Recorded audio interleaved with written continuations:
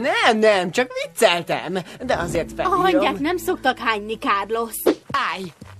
Ki marad itt Lilivel? Ne, hadd menjek veletek. Hmm, jobb ötletem támad. Nem tanultak semmi illemet. Talán nem, de lássuk be, ők csak állatok. Nem vehetem fel. Tudod, hogy két nővér nem kedvel engem. Hát persze. Ne haragudj, Kronó.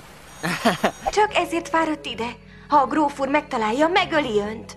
Ugyan, egy igazi tolvaj mindent megtesz, hogy megszerezze, amit akar.